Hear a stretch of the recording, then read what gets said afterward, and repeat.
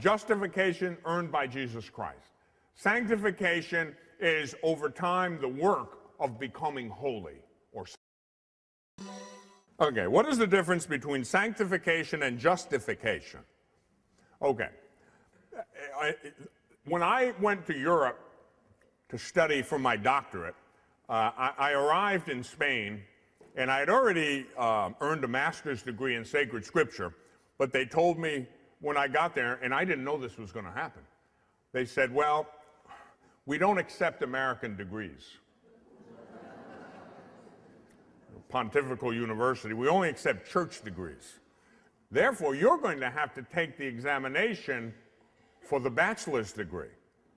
And then two years of courses for the licentiate, and then you can work on your doctorate. So I, the, appointed day, I had to go for the exam for my bachelor's degree. And it's a, big university in Spain, University of Navarre. And we went to the Aula Magna, the big room, the, and uh, the student body was there, hundreds of students, um, a panel of five judges seated on a dais. And um, they brought out, it's a, it's a medieval process.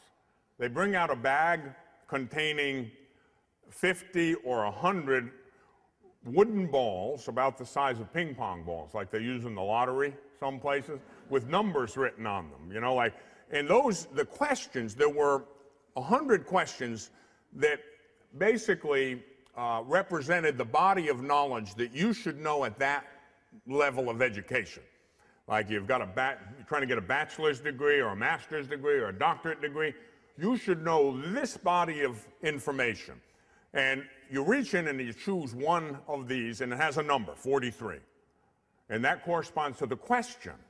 And then you have five minutes to go out, write down some hurried notes. You've got to come back in and give a one hour lecture on that subject. And then the professors have one hour to cross examine you. That's how you find out if somebody knows something, by the way.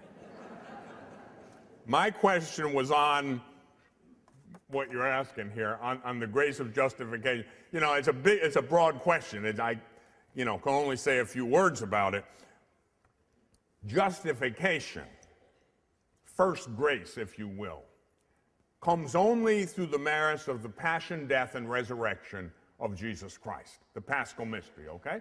The grace of justification. In other words, how do we get right with God? How, how, do we, how are we pleasing to God? Only through the merits, the infinite merits of the passion, death, and resurrection of Christ. I think that's a lot of times our Protestant brothers and sisters criticize us on this point. Oh, you think you can earn something? No, Jesus earned it on the cross. We believe that. First grace. Then you're in Christ. After your, the justification, then you're in Christ. Right? The first baptism. You're, you're in Christ. Then, as we say in theology, de congruo, congruently, you can begin to merit. In Him, though, only through Him, with Him, and in Him. And that's sanctification, becoming holy. You work on that through prayer, acts of virtue, rejecting evil, doing good, and so forth. Okay? So, justification earned by Jesus Christ. Sanctification is over time the work of becoming holy or sanctified. That also is, is a work of God, but it, it, He won't do it without you. You know, one of the, er, one of the errors of some Christian groups is, well, once, you know, once you're saved, you can't sin. You're okay. You're, you're done. Man, you're saved when you get there. Otherwise, St. Paul uh, and, and, Jesus himself weren't right. You got to work out your salvation in fear and trembling.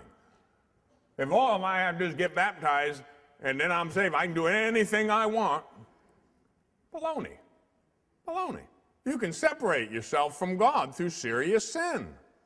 You know, so you know, that's common sense to most people, I think.